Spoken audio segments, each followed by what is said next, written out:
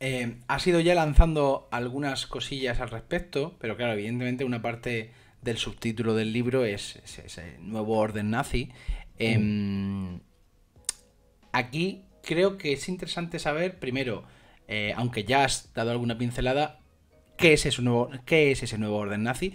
Eh, y sobre todo también, eh, ¿eso era un proyecto coherente?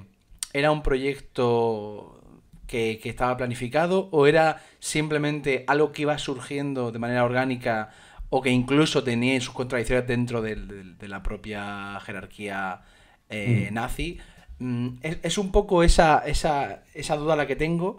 ¿Y mm. cómo casaría o cómo, o cómo hacían para, para luego convencer a una serie de personas que eran cercanas ideológicamente, pero que ellos mismos sabían que no iban a hacer lo que ellos querían. Porque lo que dejas caer aquí es que muchos, por ejemplo, hablaban también de hacer una especie de gran estado eh, neerlandés uniendo a los flamencos. Eh, mm. esos, otros colaboracionistas querían, por supuesto, la, independencia de su estado, aunque fuera dentro de una especie de federación eh, con Alemania, lo que fuera. Pero ¿cómo hacían para convencerles de que no querían absorberlos? Es un tema interesante este que comentas. Bueno, el nuevo orden es algo que que responde a mínimos comunes denominadores y es lo que permite de alguna manera funcionar la maquinaria policrática alemana. Otra vez vuelve a ser lo mismo. La policracia determina también esa naturaleza, digamos, volátil e improvisada de lo que será ese nuevo orden. Es decir, em, no tiene la misma concepción de lo que, la misma concepción de lo que tiene que ser ese nuevo orden el Ministerio de Asuntos Exteriores alemán, el Ejército o las SS, no tienen, ni el Partido Nazi, tienen distintas visiones, a muchos niveles, a muchos niveles. O sea, hablamos, por poner un ejemplo muy, muy, muy concreto, hablamos de que, por ejemplo, eh, las SS, eh, que son seguramente las grandes defensoras del proyecto del Gran Reich germánico, son las grandes defensoras, las grandes abanderadas de, esa cuestión, la Orden Negra, eh, están hablando de una manera muy concreta de que nosotros no podemos apoyar a los partidos fascistas locales porque han fracasado en su capacidad para encuadrar y generar un proyecto nacional en torno a la, en, la sociedad al que aspiran a dominar, ¿no? Eh, por ejemplo, el NSB, el Partido Nazi Neerlandés en, Países Bajos, o la Unión Nacional Flamenca en Flandes, o el, Partido Nazi en Dinamarca, o, el National Samling, ¿no? En, en Noruega.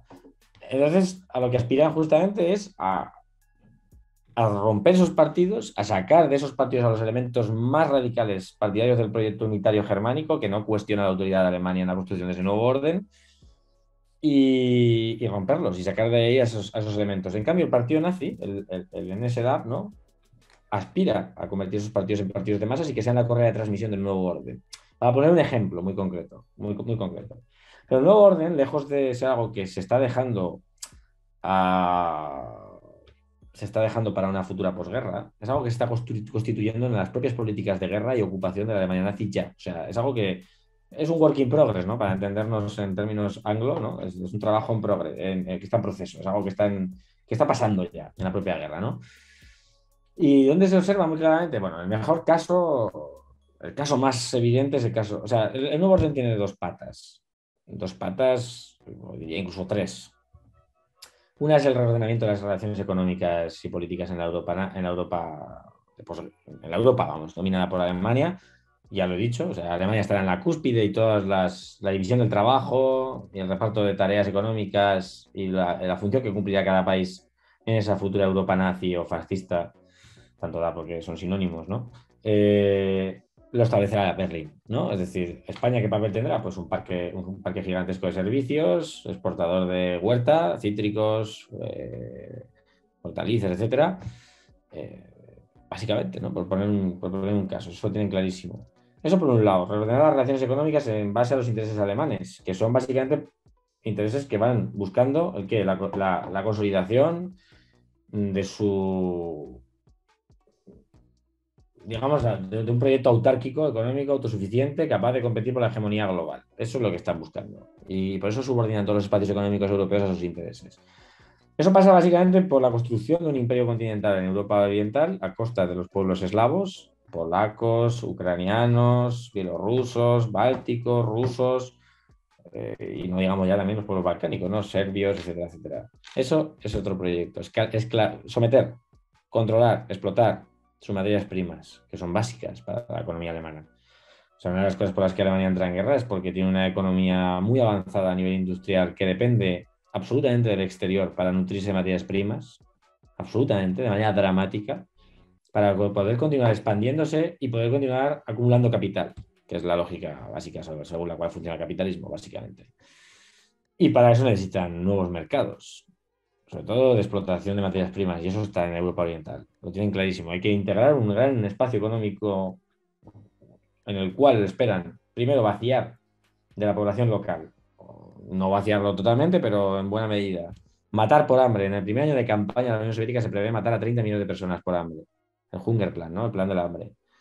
Es decir, ¿para qué? Para hacer espacio a los colonos que vendrán en diferentes oleadas. En los primeros 10 años se prevé que 10 millones de germanos, no solo alemanes, sino hablamos de otra vez noruegos, daneses, flamencos, neerlandeses, etcétera, y también a, alemanes y germanos que han marchado al otro lado del Atlántico durante el siglo XIX, que esto forma parte también de los planes de los alemanes que lo tienen en la cabeza, muy interesante.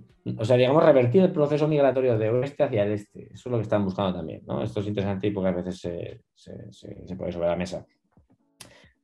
Y conseguir precisamente eso, convertir a la población autóctona en, una especie de, indios eh, como los que hay en, Estados Unidos, que estén en reservas y que sirvan como, digamos, pools, ¿no? Piscinas de mano de obra esclava, ¿vale? Eh, que pueda ser enviada cuando haya necesidades en las industrias del Reich o necesidades en la recogida de la cosecha, el cultivo de las tierras, en, en la explotación de los pozos petrolíferos, del Cáucaso, etcétera, etcétera.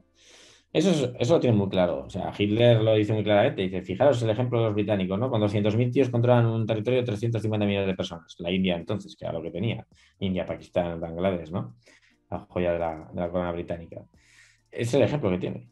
Es que los, no, no están inventando nada nuevo los alemanes. Es que lo dramático de todo es que los alemanes están pidiendo para sí lo que otras potencias europeas ya tienen. Pero claro, en territorios no blancos y europeos eso es, importante. Y además con, 70 años de, retraso, ¿no? Con lo cual ya ha habido pues todo un, cuestionamiento de colonialismo y las praxis coloniales y muchas otras cosas. Eso es el, segundo pilar y el tercer pilar es lo que hablábamos, un, gran Reich germánico, unitario, es decir, que, reúna a todos los pueblos germánicos de Europa, eh, Suecia, Noruega, Dinamarca, Suiza, eh, Luxemburgo, Bélgica, Países Bajos, que irá cambiando. Eso que decías tú, Juan, es interesante. Efectivamente, sí que es verdad que evoluciona y que una de las cosas que tiene el nuevo orden es que se convierte en una especie de. Los alemanes, en ciertos momentos, son. En ciertos momentos, cuando les interesa, cuando les conviene, tienen la capacidad de mostrar alguna especie de tabula rasa que está abierta a la interpretación de, de multitud de sujetos políticos. Es decir, le dan la sensación a sus aliados, a sus aliados locales en los diferentes países ocupados de que tendrán algo que decir.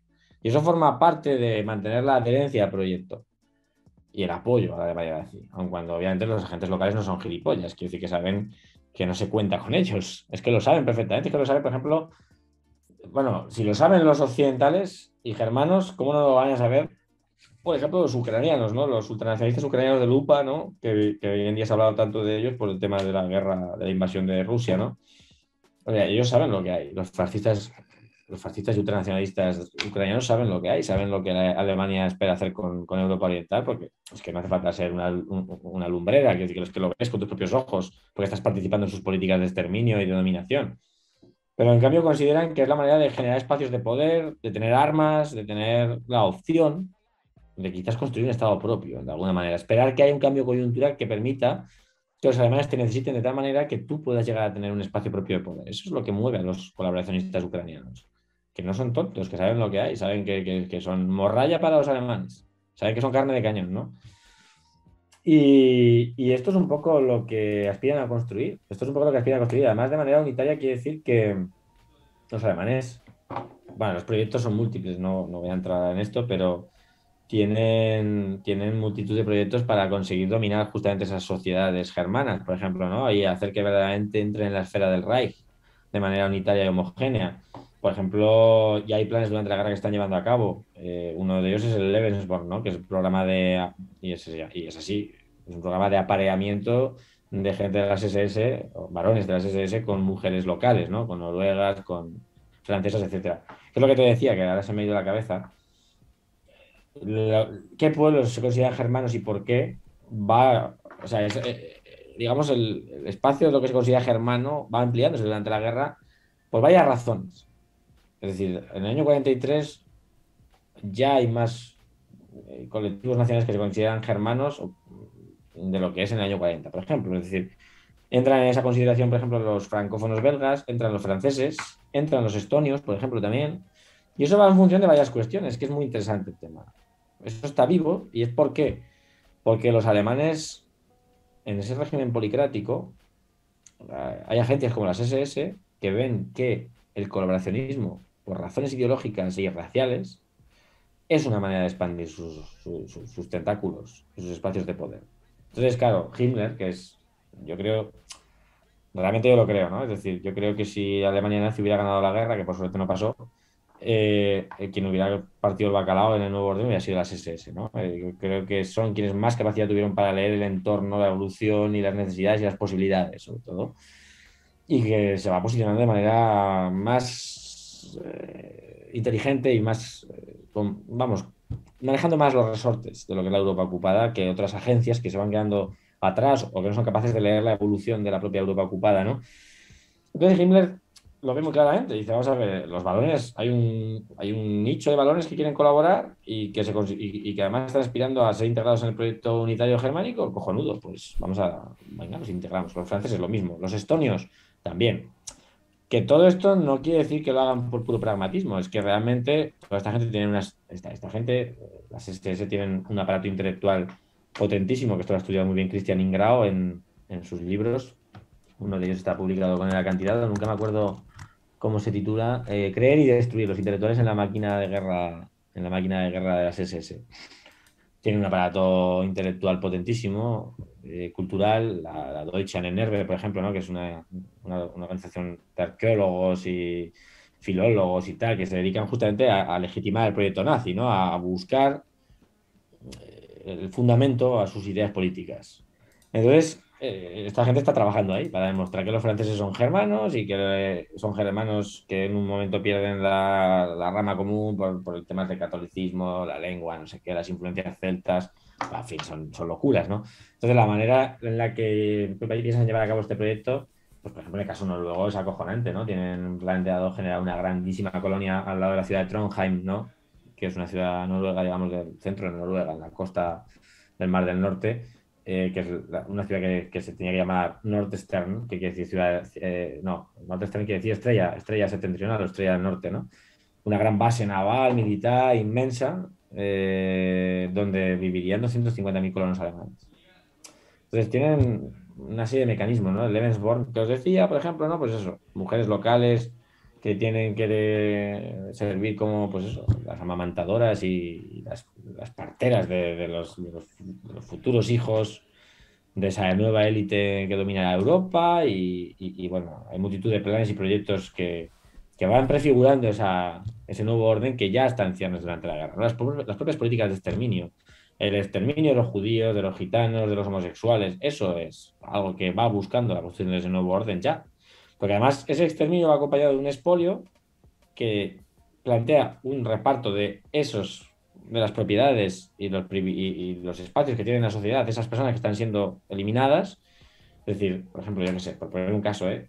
donde había una sinagoga o donde había una institución judía o donde había un negocio judío, eso pasa a una persona germana, o que se considera germana, o a una organización colaboracionista.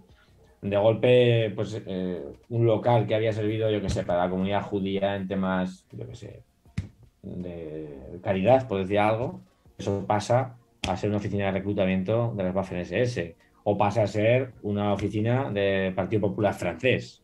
Yo qué sé, por poner casos, ¿no? Entonces eso se está creando ya.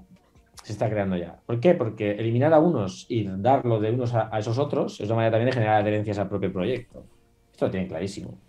Luego además se generan, ¿eh? Quiero decir, aparte de que de que es un work in progress, como decíamos, algo que se intenta mostrar de la manera más abierta posible, las propias SS generan un proyecto que es el General, el General Plan Ost, el General Plan Ost, que quiere decir Plan General para el Este, es donde se prefiguran las líneas maestras de cómo se llevará a cabo y de qué manera se llevará a cabo la eh, conquista o apropiación y colonización del, futuro imperio continental germano en el este, ¿no? Eh, cómo se construyan las autopistas, eh, cómo se distribuirán los nuevos núcleos poblacionales, qué características tendrán, qué tipo de colonos atraerán y cómo, las cédulas de propiedad que se les entregarán, todo, todo, todo está. Eso está, se está prefigurando ya en la propia guerra. Se está prefigurando en la guerra. General Planost es un, bueno, es un tema apasionante y que, y que Cristian Ingrao ha trabajado en su obra, ¿no? Creer y destruir habla de, todas estas cuestiones. Es un libro maravilloso que está publicado por el acantilado y que recomiendo a los lectores y lectoras y los oyentes que, tenéis y que nos están escuchando, porque es un libro apasionante. Cristian Ingrao es, yo creo que quizás el mejor historiador cultural y social ¿no? y político de uno de los mejores, sin duda, de, de lo que es la Alemania nazi. Y has dicho que que a los aliados fascistas se les hacía creer ¿no? que de alguna manera iban a poder participar eh, en ese proyecto, pero eh, ¿se dio en algún momento eh, el Estado alemán llegó a tener la necesidad de hacer una propuesta concreta a algún aliado? Mm, sí que hubo propuestas concretas. Es interesante esta pregunta que me haces.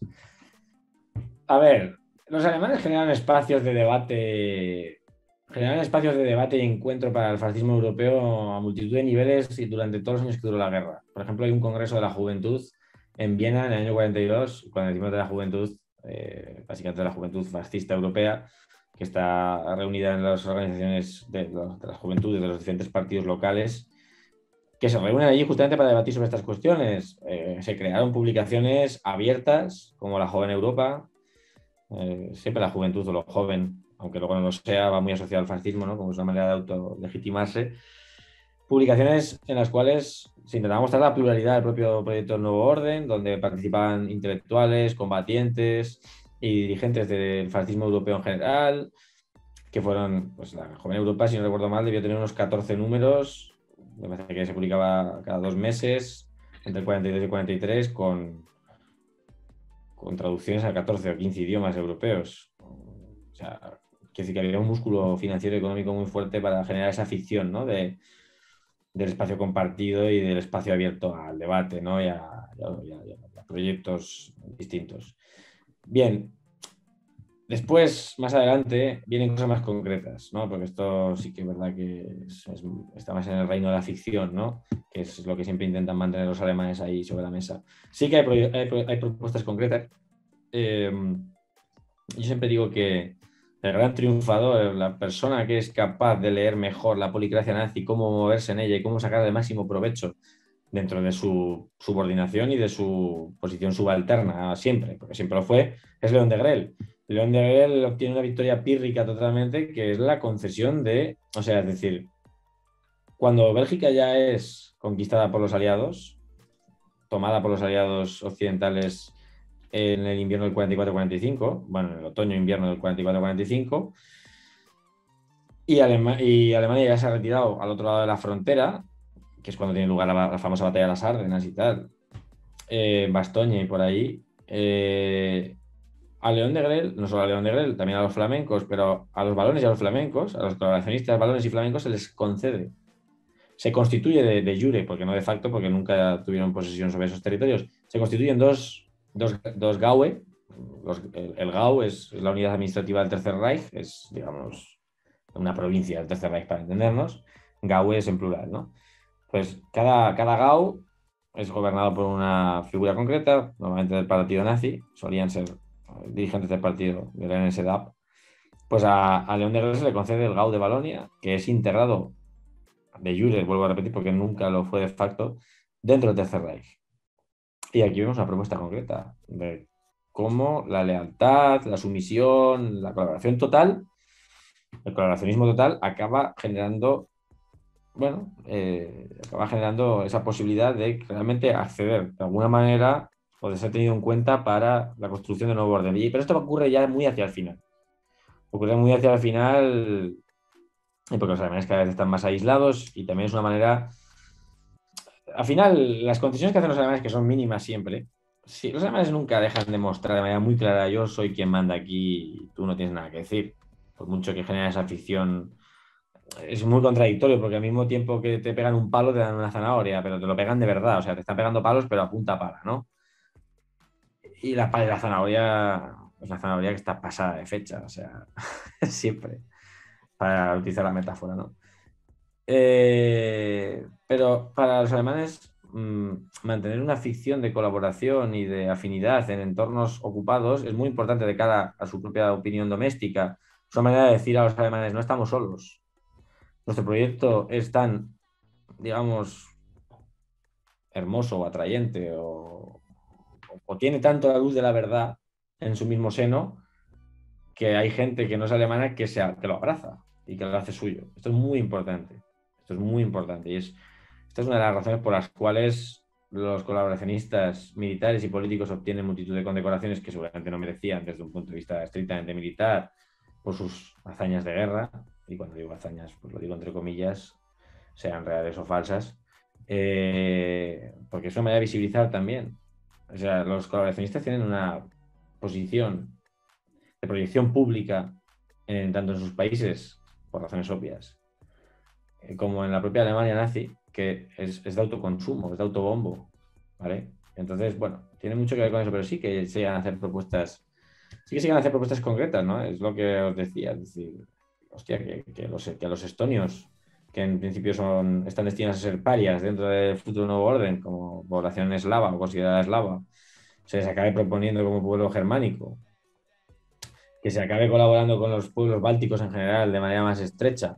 Bueno, hay, una evolución. ¿Por qué? Porque los alemanes cada vez tienen más necesidades. Es que realmente necesitan correas de transmisión, necesitan conseguir eh, gente con capacidad de influencia que cada vez es menor, porque el colaboracionismo cada vez está más eh, aislado y más marginado y más perseguido eh, anatemizado por los propios conciudadanos o convecinos de los colaboracionistas, pero los alemanes necesitan realmente apoyos en las propias sociedades ocupadas. Las políticas de ocupación varían, es decir, igual que os he dicho, durante la operación Barbarroja, en los primeros seis meses, bueno, pues mueren de hambre 3 millones de prisioneros soviéticos, más de 3 millones, multitud de civiles, una cifra similar, un poco mayor, de civiles que mueren de hambre, etcétera, que se preveía que en los primeros 12 eh, meses tenían que morir 30 millones de personas, ni más ni menos de hambre, etcétera, Claro, cuando los alemanes de golpe ven que ha fracasado la operación militar, absolutamente, de manera total, la operación Barbarroja fracasa en sus objetivos, en todos, eh, de golpe dicen, hostia, nos vamos a quedar aquí unos cuantos años. Entonces, ¿qué pasa? Tenemos que intentar moderar las políticas de ocupación y el trato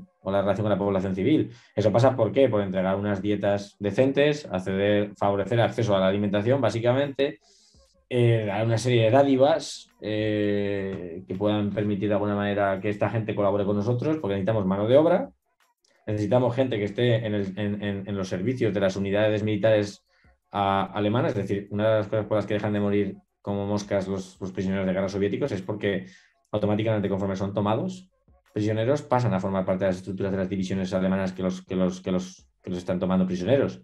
¿Por qué? Porque los alemanes cuando se enfrentan a la crisis invernal del, 40, del 41-42 tienen que enviar a la primera línea a todos los servicios de sus unidades, a, pues a la gente de intendencia, a la gente de cocinas, a la gente de abastecimiento, a, la gente que se estaba encargando, yo qué sé, de favorecer el abastecimiento de leña para las cocinas, a todo el mundo. Todo el mundo alemán tiene que ir a primera línea, coger el fusil y combatir. Porque es la única manera que tienen de sobrevivir a la crisis militar que se provoca ese invierno.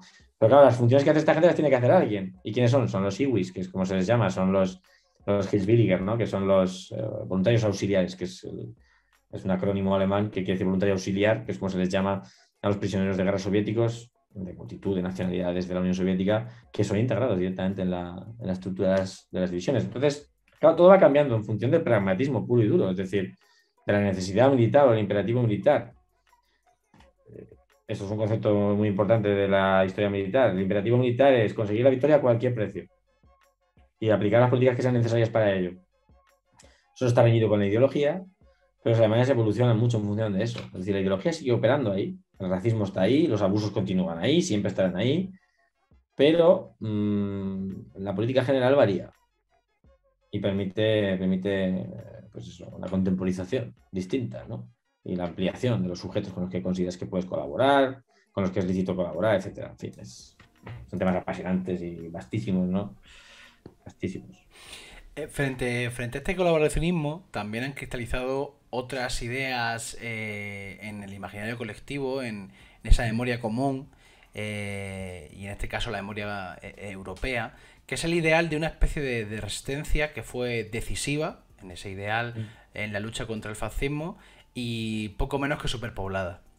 además, un país ha quedado como prácticamente eh, origen y, final de, esa resistencia, que es Francia. Parece que en ocasiones no hubo resistencia en, otro, en, otro, en otros territorios.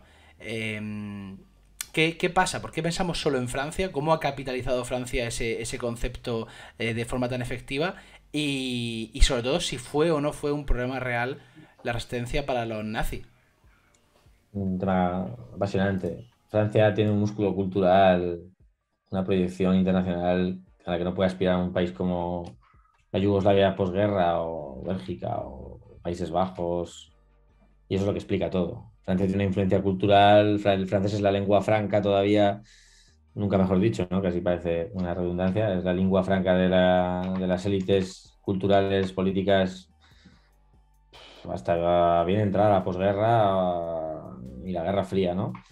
Y eso permite a Francia construir y controlar, al Estado francés le permite controlar y construir relatos y dominarlos, ¿no? Y, proyectarlos. Y eso es una de las cosas por las cuales los franceses han tenido la capacidad de quedarse con, cosas bonitas, ¿no? De la historia, como el propio 68, que el 68, ¿no? Como movilización estudiantil, obrera y tal, es un fenómeno global, no es para nada francés, pero hablamos siempre del mayo francés, ¿no? Y es muchísimo más. El 68 es un fenómeno alemán, es un fenómeno estadounidense, incluso aquí en España tiene ramificaciones, en Italia no digamos, bueno, en, fin, en Europa Oriental, incluso en la Europa comunista hay un, hay un 68 importantísimo, ¿no? que lucha contra la burguesía roja, bueno, en fin, muchas cosas que no vamos a entrar ahora.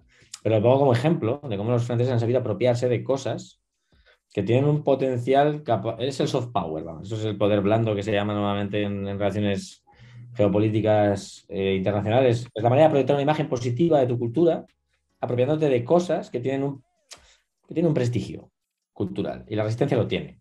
Mostrarte como un país que en bloque rechaza la ocupación y en bloque resiste contra un ocupante es algo, tiene un potencial poderosísimo porque es lo que te permite a ti, además, como país, sumarte a las potencias vencedoras en la guerra, que han ganado la guerra contra los alemanes. Para los franceses eso era importantísimo. Además era importantísimo porque tenían que legitimar que tenían sus propias zonas de ocupación en la, en la Alemania de posguerra y muchas otras cosas, muchas otras cosas. Toda, toda su política de reconquista colonial en los territorios perdidos del imperio francés y muchas otras cosas. Es decir, nosotros somos parte de la coalición ganadora y tenemos derecho a definir el futuro, el futuro global, ¿no? O para legitimar incluso las políticas agresivas, ¿no? Eh, directamente criminales que llevan a cabo en la Argelia de posguerra, ¿no? Eh, por ejemplo, en las masacres de, Gelma y Setif, ¿no? El mismo 8 de mayo que se está celebrando la, la victoria eh, de las potencias aliadas contra la Alemania nazi. El mismo 8 de mayo del 45 hay unos episodios terribles durante las semanas siguientes en los cuales mueren entre 20 y 30 mil argelinos eh, fruto de, bueno, de las represalias de los colonos blancos y de, y de la gendarmería francesa en Argelia, ¿no? por, por las reivindicaciones independentistas y autonomistas de, Argelia. Estamos hablando del día, el día mismo que acaba la guerra. Es acojonante. ¿no? Entonces, Francia tiene esa capacidad cuando efectivamente la realidad es que, bueno, quizás el caso más efectivo de resistencia armada popular contra el fascismo sin duda es Yugoslavia, que consigue liberar su propio territorio con sus propios medios humanos, sin necesidad de una invasión externa, o de una intervención militar externa. Es decir, cuando los soviéticos llegan a Yugoslavia, eh, los partisanos de Tito han tomado ya Belgrado y todas las principales ciudades y las vías de comunicación y han puesto en huida a todos los colaboracionistas croatas, eslovenos, serbios, etcétera, hacia la frontera austriaca. Y esa es una realidad. Quiero decir, las resistencias contra la, ocupación son mucho más efectivas, sin duda, en Europa Oriental que en Europa Occidental. Europa Occidental tiene mucho más músculo. Eh, no hay que olvidar que la legitimación de los regímenes comunistas de toda Europa Oriental durante décadas se estableció en base al éxito de sus resistencias nacionales contra, contra la Alemania nazi o la Italia fascista. Eso es importante, eso es muy importante si la gente vais a, los territorios post-yugoslavos, sobre todo a Bosnia y a Serbia, veréis cantidad de monumentos en a los partisanos en todos los sitios. todos los sitios. Y además monumentos guapísimos. La, monumentalística del socialismo real yugoslavo es, es espectacular, ¿no? Y bueno, toda Europa oriental en general. Y Francia, hombre, a ver, yo tampoco quiero pasar de un lado al otro directamente, es decir, sí que hubo una estructura resistente clandestina muy, muy poderosa. Hablamos de los últimos cálculos de Robert Gildea, que es el principal experto, hablando de unas 200.000 personas operando una red clandestina muy potente, seguramente unas 40, 50.000 en armas, pero con una capacidad de incidencia mínima. A nivel militar no tienen capacidad, o sea, para los alemanes, y los alemanes lo tienen muy claro, para los alemanes no es ningún problema. No es ningún problema los alemanes ni, ni tan siquiera tienen un problema grave en Europa Oriental, que hablábamos ahora de. Pues, si, hablamos del caso yugoslavo, por ejemplo, estamos hablando de un millón de personas en las estructuras del ejército partisano de Tito, que es muchísimo. Un país como Yugoslavia tiene 18 millones en ese momento. Estamos hablando de que uno de cada 18 yugoslavos está en la resistencia. Yugoslavos y yugoslavas, porque hay 100.000 mujeres también. Eh, pero eso tiene mucho que ver con que, o sea, que la resistencia sea más o menos efectiva, también tiene mucho, más, tiene mucho que ver con la presencia, primero con, cómo la población local percibe las políticas de ocupación alemanas, que son mucho más salvajes en Europa Oriental y en los Balcanes que en Europa Occidental, aunque con el paso de los años se van, de alguna, manera, se van haciendo simétricas, bastante simétricas. Y luego tiene mucho que ver con la mayor o menor presencia de tropas de ocupación en el territorio, obviamente. Es decir, si tú percibes un marco de oportunidad para atacar mayor, mejor al ocupante y a sus colaboradores, pues tienes más facilidad, hay más posibilidad de que acabe siendo parte de la resistencia. Bien, eh, eso por un lado. Eso por un lado. Los alemanes sí que les plantea ciertos problemas en los territorios ocupados de la Unión Soviética, eh, por ejemplo, en la preparación de la ofensiva de Kursk. Mm, llegan a, a, colapsar el sistema de comunicaciones alemanes de abastecimiento para las tropas que se están preparando para la ofensiva del verano del 43 haciendo que lleguen el 80-70% de los suministros. O sea que ahí vemos una cifra palpable ¿no? de, qué grado de efectividad tienen a la hora de poner en apuros a la maquinaria de guerra alemana. Pero en Bélgica, en Países Bajos, en Dinamarca, Dinamarca es diferente, ¿no? Podríamos hablar también, pero Noruega, etcétera, hay, hay una muy escasa capacidad. Las resistencias europeas occidentales a lo que se dedican básicamente, y por varias razones, es a perseguir a los colaboradores locales, a los fascistas locales, porque están arreglando un problema doméstico. Tienen muy claro y, la, resistencia es extremadamente inteligente. Las organizaciones de la resistencia, normalmente en todas las latitudes controladas o dominadas por el, comunismo, que por su propia cultura política jerárquica, centralista, etcétera, tienen mucha más capacidad de control y de supervivencia que otras culturas políticas para vivir en la clandestinidad y tal, y someterse a directivas y a disciplina de partido y tal y cual eh, tienen muy claro que, o sea, sus políticas de, la violencia son muy inteligentes, son muy racionales, y tienen muy claro que atacar a los alemanes es problemático. ¿Por qué? Porque es mucho más caro. Matar a un alemán supone una ratio de muertes de civiles locales, porque normalmente los alemanes, eh, cuando, cuando se les mataba a un soldado ocupante o un oficial, no digamos ya, eh, tenía una ratio establecida. Por cada alemán muerto, 8, 10, 15, 20, 30, 100 civiles muertos. Se toman rehenes y en el momento en que cae un alemán se, lo cepillan. Se cepillan a esos 100. Eh, eso es una de las cosas que se va equiparando a Europa Oriental. ¿no? En Serbia desde el primer momento se mata a 100 civiles, por ejemplo, por cada alemán muerto. Eso se va adoptando también en la Francia ocupada, en Bélgica, etcétera, etcétera. Eh, que es una cosa que forma parte también del propio proceso de radicalización, de, que viene muy activado también por la propia invasión aliada de Europa Occidental, el desembarco en Normandía y todas estas cosas. Pero bueno, no me extiendo en eso. La cuestión es, que los, resistentes lo saben, que es muy impopular el tipo de violencia que llevan a cabo si tiene consecuencias para la población civil. Porque se van a quedar solos, se quedan aislados. Y entonces la resistencia necesita el prestigio social también. Entonces, eh, escoge muy bien a sus objetivos. Y sabe que acabar con el fascismo local es algo que la gente desea porque odia a los colaboracionistas, porque los considera culpables de muchas de las desgracias que tienen, con razón, porque es la verdad. Eh, y ataca a esta gente, que vale, su vida vale mucho menos para los alemanes. Y es que además lo, vemos en los informes de, atmósfera, ¿no? que es como lo llaman los alemanes, los Stimmungsberichte, ¿no? que son como informes sobre el entorno o algo así se traduciría, para decirlo de alguna manera, o del clima o del ambiente, ¿no? para decirlo de alguna manera. Atacan a. O sea, los lo saben, lo dicen. Dice, esta gente están jodidísimos. pero a nosotros esto es como el picotazo de un mosquito en un elefante. O sea, no, no nos plantea ningún problema. La resistencia sabe que el problema de la ocupación lo resolverán los ejércitos aliados. Entonces, en ese sentido, no, se rompe mucho la cabeza, ya llegará el día. obviamente cuando los aliados ocupan, bueno, invaden, eh, desembarcan en Francia y todo esto, sí que verdad que la resistencia está participando de un operativo coordinado y que está llevando a cabo, está llevando a cabo operaciones de sabotaje coordinadas por el alto mando aliado y todo lo que queramos, pero esto es un hecho. Y luego es muy interesante, otra vez, y con eso cerraría un poco esta, esta intervención, esta respuesta, cómo se genera la propia resistencia. Otra vez vuelve a ser un único mundo, que decías tú, Juan, ¿no? Es decir, que es un reflejo de la propia complejidad de las sociedades ocupadas en Europa. Eh, y que es el resultado de la precarización de las sociedades europeas a manos de la ocupación y de políticas de guerra muy duras que ponen a las, sociedades europeas al límite. Es decir, es que la economía europea, cuando acaba la guerra, está totalmente desarticulada. Estamos hablando de, que las raciones en el centro de Europa, en Budapest, por ejemplo, están a 400, 500 gramos, cuando nosotros comemos 2.000, 2.200 calorías. O sea, lo digo en calorías, pero he dicho gramos y lo he dicho mal, obviamente. 400, eh, 500 calorías cuando lo normal es comer 2.000, 1.800, 2.000, 2.200, es lo que comemos, ¿no? Hay gente que come más, obviamente, con la comida basura y todo eso, pero eh, digamos en una alimentación estándar, sana, ¿no? Eh, entonces, eh, bueno, la resistencia se nutre, mm, en muchos casos, por ejemplo, en Francia, de manera muy evidente, de un fenómeno, en Francia y en Bélgica, es muy claro, que es el servicio de trabajo obligatorio. Los alemanes imponen en las sociedades ocupadas, sobre todo en Francia y en Bélgica, con el, apoyo de las propias autoridades locales, en el caso de Francia es la Francia Vichy, el régimen de Petain, a imponer un servicio de trabajo obligatorio por el cual los jóvenes eh, franceses, las quintas que tocan cada momento, en edad de llevar armas, se van llamando diferentes quintas, ¿no? Tienen que ir a trabajar a las fábricas del Reich, de manera forzada. Y claro, en la Europa ocupada todo el mundo sabe qué está pasando. El problema es discriminar la información, pero eso de las fake news o, funciona en base a los rumores. No hay redes sociales, pero hay rumores. Y todo corre, se mueven, las cosas se mueven.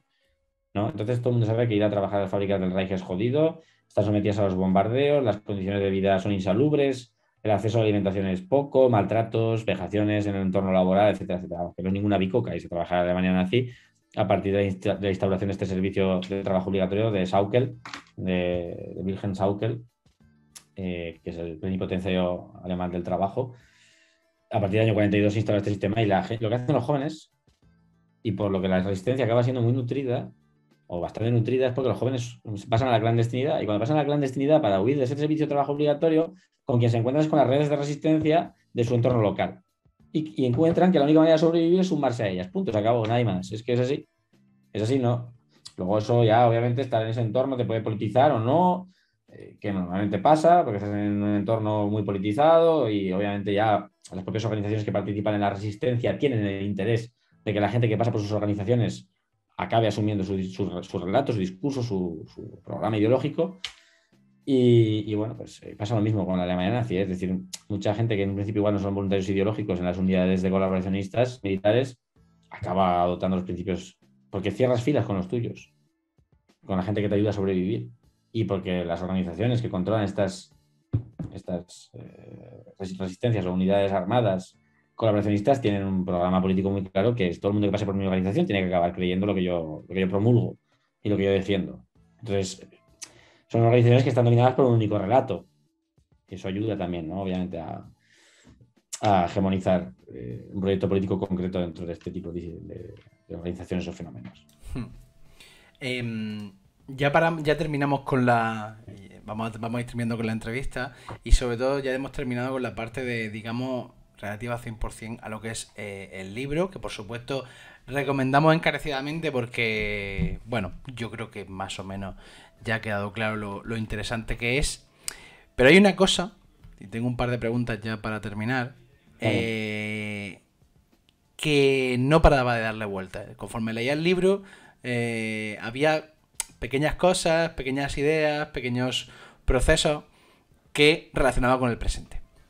Em, entonces, hay una pregunta evidente, que además la he visto formulada una y otra vez en los últimos 5 o 10 años, desde la crisis de 2008, eh, y sobre todo con el ascenso de las distintas ultraderechas en, Europa, eh, se la han formulado a, a, a se me olvidó su nombre. Bueno, da igual. Eh, pero vamos, la he visto formulada a muchos historiadores en televisión, en radio, etc.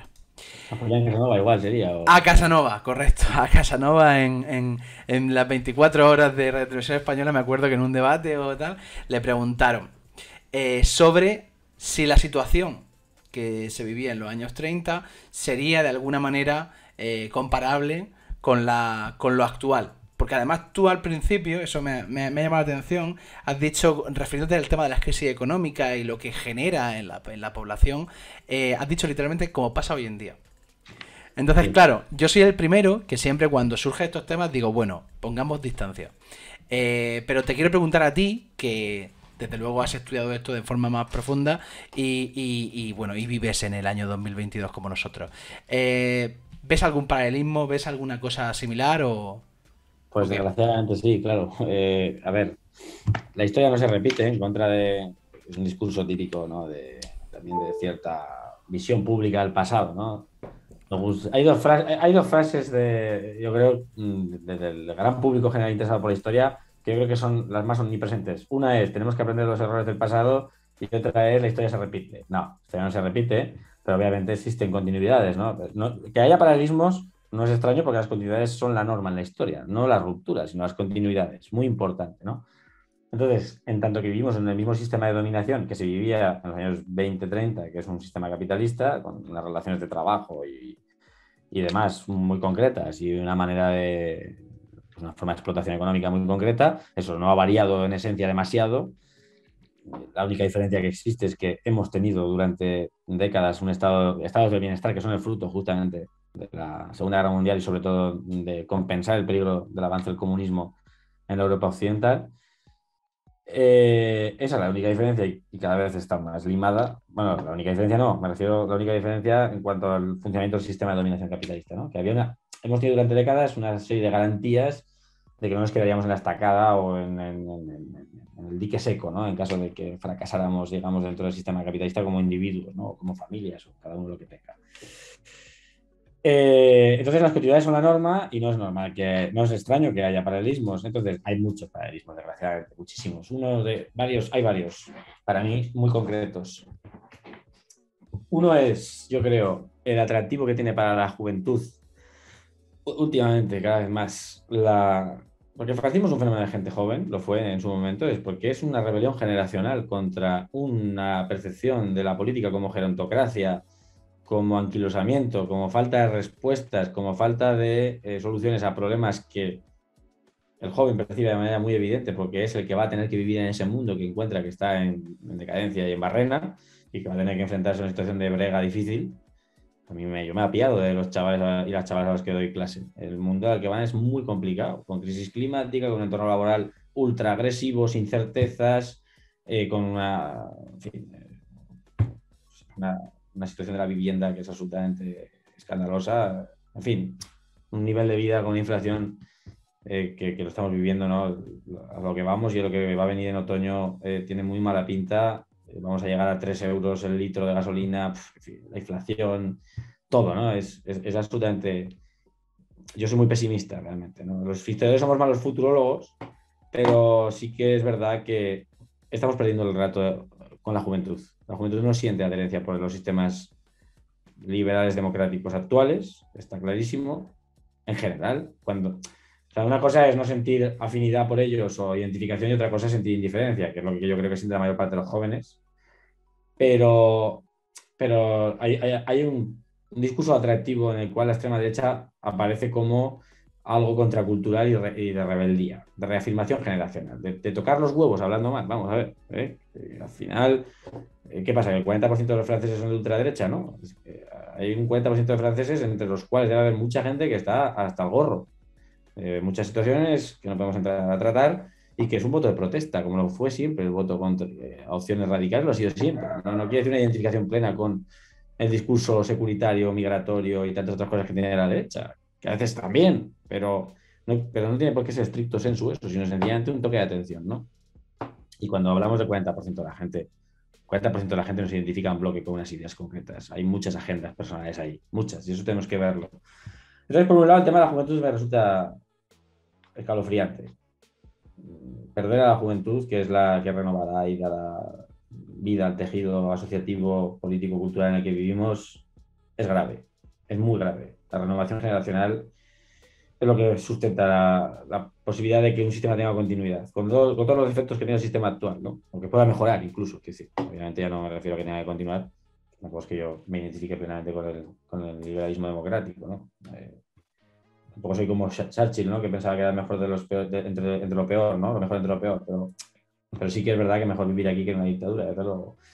Eso por un lado. Eh, hay un problema grave que es el de la crisis económica no resuelta, que ya lo estábamos avanzando. Eh, exactamente pasa lo mismo con la Gran Depresión de los años 30. Ha habido un problema que es muy asimilable a lo que pasa en los años 30, que la gente que se está radicalizando más ha cambiado los nichos también, ¿eh? Ojo. Porque hay, otro, hay una cosa en la que nos diferenciamos de los años 30, es que ahora no existe alternativa al sistema de dominación actual. En los años 30, con todos los peros que queramos, que eso me da igual, yo no, no estoy explicar las cosas no es justificarlas, ¿no? Pero con todos los peros que queramos, existía una Unión Soviética que se consideraba para mucha gente de la clase obrera o de las clases populares europeas un modelo de éxito en la modernización y la, y la preservación de los derechos de las clases populares, la modernización de las estructuras económicas y la preservación de los derechos de las clases populares, eso es un hecho. Una, otra cosa es cómo funcionaba la Unión Soviética, si eso es así, si no es así, pero la gente percibía así, punto, se acabó. Y eso era un factor agregador que preservaba a una parte muy importante de las sociedades europeas de radicalizarse en claves de ultraderecha, o de acercarse al discurso de ultraderecha, o de estar impermeabilizados, entre comillas, a la ultraderecha. Eso ha, cambiado. Lo que hemos visto desde la desindustrialización europea de los años 70 hasta ahora es que todos los espacios donde se ha desindustrializado el continente europeo, que han sido espacios históricamente de la izquierda radical, comunista sobre todo, por ejemplo en Francia de manera muy evidente, zonas portuarias, zonas mineras, zonas industriales, han pasado en bloque de opciones de casi en bloque, opciones de ultraizquierda a ultraderecha. Son los principales feudos del Frente Nacional. Marsella, eh, sitios así. O lo han sido históricamente, ¿no? Eso es un problema. Es decir, hay toda una serie de población lumpen proletarizada. Y cuando digo lumpen proletarizada es que ha sido forzada a lumpen proletarizarse por el propio sistema y sus crisis cíclicas y repetitivas, que está apoyando opciones de ultraderecha. Eso es nuevo. Entre comillas, pero bastante nuevo. Esos son los nichos importantes de la ultraderecha europea actual. Pero hay un nicho clásico que es el de las clases medias que están en trance de perder su posición social, que, lo, que perciben que la van a perder o que la están perdiendo de verdad, que se están radicalizando. Y eso sigue siendo una constante. Lo fue entonces y lo es ahora. Está pasando. Está pasando. Es decir, que, que nos están hablando hace días ¿no? de la desaparición de las clases medias y lo sabemos. Lo sabemos. Está pasando. Tu posición está amenazada por la globalización, por la inmigración, por son mantras, ¿no? La islamización, etcétera, etcétera. Funcionan, están funcionando y están, eh, digamos, de alguna manera arrastrando a mucha gente. Luego están los sectores clásicos que apoyan a este tipo de opciones que, siempre han estado ahí. Es decir, no es que la ultraderecha de golpe haya reaparecido. O sea, la ultraderecha no es el. La ultraderecha no es un fenómeno que se genere por, eh, no sé, por ciencia infusa, ¿no? Es decir, es como el Guadiana, realmente siempre está allí, lo que pasa es que puede ir bajo tierra, ¿no? Quiero decir, pero está en entornos políticos en los que puntualmente se siente cómoda, como la democracia cristiana, o... pero de golpe cuando encuentra un nicho adecuado, particular en el que crecer, genera su opción, ¿no? Y es lo que está pasando, por ejemplo, con Vox, ¿no? Pues solamente estas opciones históricamente han estado muy asociadas al Partido Popular, los sectores más ultras del Partido Popular. Eso es una realidad, que sí que no, no nos estamos inventando nada, ¿no? Está muy demostrado como todo el franquismo sociológico en España no pasa a apoyar a Fuerza Nueva, sino a la Alianza Popular, que es el presidente del Partido Popular. Eso está bastante bien demostrado actualmente. Y, por ahí de ahí nace Vox. ¿no? Eh, cada país tiene sus particularidades en esto. Luego hay varios hay otros problemas. La crisis económica no resuelta, las crisis migratorias, como las hubo en, Europa en los años 30, con los judíos y los republicanos españoles en el caso francés, muy evidentemente. Eh, son decenas de miles de personas que llegan a las fronteras europeas con una mano delante y una mano detrás, desamparados totalmente y que son considerados elementos subversivos por naturaleza y que condicionan todo el debate público y político en, sus, en los países de llegada. Hasta un punto que no nos hacemos a la idea. Quizás incluso más que ahora. Quizás incluso más que ahora entonces, ¿no? O sea, condicionó todas las políticas securitarias, porque, por ejemplo, al judío se le consideraba un elemento subversivo, en tanto que no se considera judío miembro de ninguna comunidad nacional, que no sea la judía, que es un invento, obviamente, del antisemitismo, es decir, existe un pueblo judío, muchos judíos descubren que son judíos por el antisemitismo que se siente contra ellos, no porque, sean, no porque se consideren como tal. Esta es la paradoja, ¿no? muchos judíos descubren que son judíos cuando llegan a Auschwitz y de golpe se encuentran con otros judíos de Francia, de Hungría, de, Y dice, joder, si estamos todos aquí porque somos judíos, pues verdaderamente seremos judíos, ¿no? Pero son gente asimilada, que, en, muchos, en muchos casos han sido héroes de la Primera Guerra Mundial o, o, están convertidos al catolicismo o al protestantismo, viven plenamente en sus sociedades, eh, tienen hijos con personas, digamos, que no son judías, en fin, todo esto, ¿no? Entonces se considera que el judío, pues en tanto que no, en tanto que apátrida, eh, abraza siempre ideologías internacionalistas, en este caso el comunismo, básicamente, ¿no? Y pasa lo mismo actualmente con la crisis migratoria, con las crisis migratorias, sobre todo derivadas de las guerras en Oriente Medio, ¿no? Sobre todo en Siria, y Irak y tal, que es la amenaza del Islam, la amenaza del islamismo fundamentalista o del, del radicalismo islámico, etcétera, ¿no? Es muy similar. Desgraciadamente es muy similar. Entonces, bueno, aquí tenemos una serie de factores, pero el último factor importante que me gustaría destacar es que la ultraderecha, que en general es, está dirigida, por desgracia, por gente inteligente, eh, la inteligencia obviamente no es precursora del bien, estricto sensu, ya lo sabemos, eh, ha tenido un discurso muy, muy, muy claro en este sentido. Es decir, de los años 30 ya hizo lo mismo que está haciendo ahora, que es la, una oposición condicionada. ¿Qué es una oposición condicionada? Es intentar monopolizar los temas del debate público y que todo el espectro político se arrastre hacia la agenda que yo estoy intentando promover, ocupando el máximo espacio público posible en las redes sociales, en, la prensa, en las conversaciones en el bar, en el taxi, todo, todo, todo, que se hable de lo que, del tipo de agenda que tengo yo en materia securitaria, en materia migratoria, en política doméstica, en política económica, en todo, en política de género, etcétera, ¿no? En todo, todo, todo, todo. Ocupar, provocar, generar, generar, generar, generar. Eso es lo que intenta la ultraderecha y lo está haciendo. Eso es la posición condicionada. Esto es una estrategia que establece la nueva derecha francesa, que es un grupo de intelectuales en torno a la de Benoit, que son un poco los ideólogos del Frente Nacional francés, que lo han hecho, que no inventan nada, porque verdaderamente lo que hacen es leer la experiencia de la ultraderecha de los años 30 y aplicarla a los años 70, 80. Y entonces lo que está votando toda la ultraderecha europea. Es decir, no vamos a conseguir acceder al poder por medios democráticos institucionales, a priori, a corto plazo no lo vamos a conseguir, que ahora ya está pasando, pero cuando surge Frente Nacional Francés, este es el cálculo que se hace. Entonces, ¿qué, cuál es la manera? La manera es condicionar que la derecha tradicional adopte el máximo número de puntos de nuestro programa político. Que se hable de lo que a nosotros nos interesa que se hable. Y arrastrar con ello todo el arco parlamentario y a la sociedad, a las problemáticas que nosotros estamos poniendo sobre la mesa. Eso ya lo hizo el fascismo en los años 30. El fascismo no es influyente por el número de militantes que tiene, sino por el espacio que ocupa su discurso.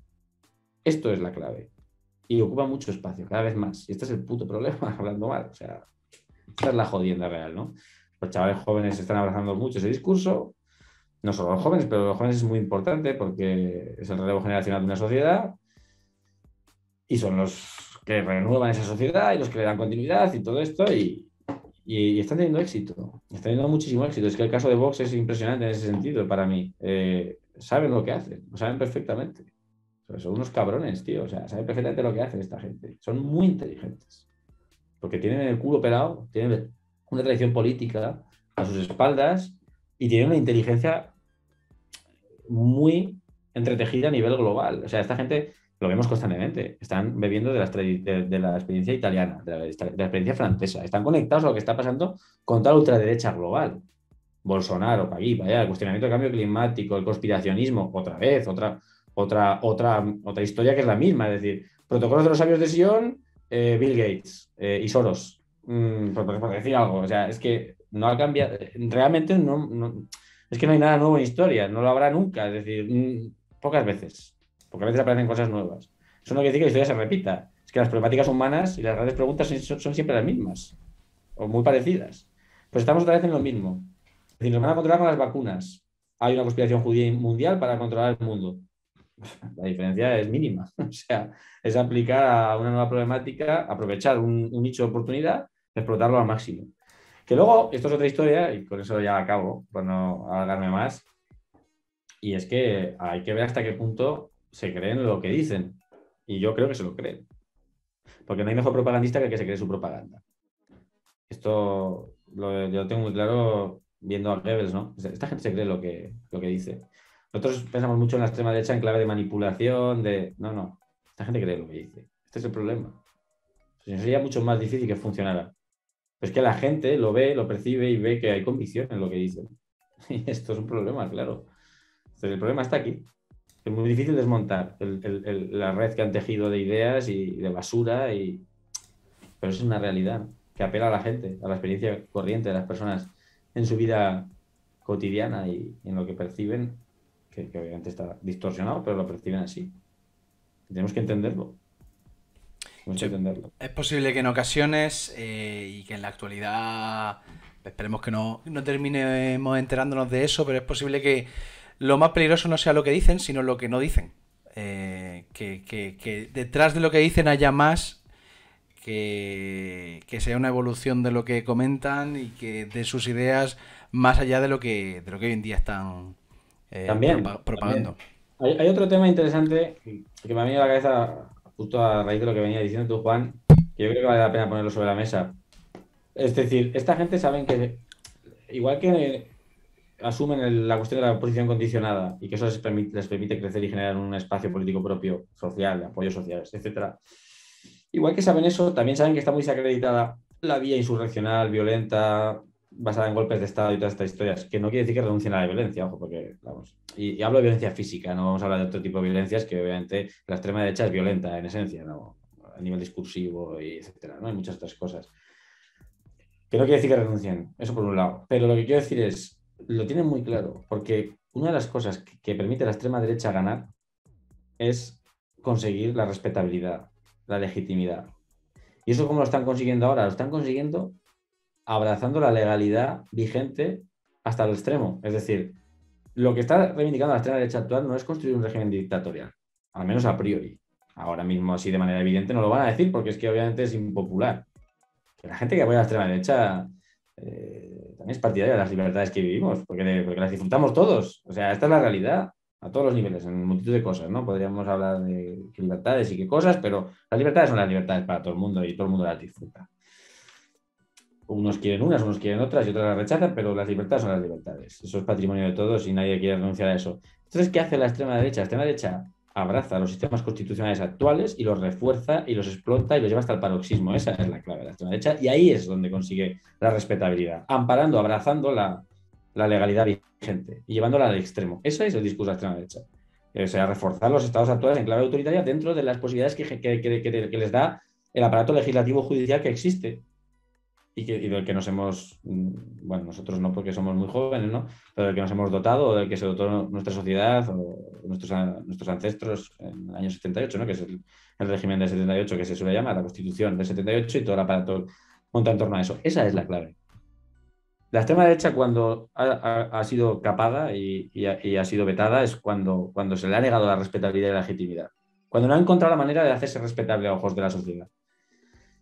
Y este es el problema. Por eso hay un dilema ético fortísimo para mí, de manera muy clara, con el periodismo actual. Y yo lo entiendo, ¿eh? me pongo en la piel de los periodistas y las periodistas. Y tienes que hacer, ¿lo cubres, no lo cubres? ¿Cuentas, no cuentas? Al final te dedicas a la información. Obviamente hay una agenda política detrás de cualquier medio informativo. Eso no estamos explicando nada nuevo. Eso es desde que aparecen los medios de información masivos en, los en el siglo XIX. Pero es un problema. ¿Qué hacemos? ¿Hablamos de ellos o no hablamos de ellos?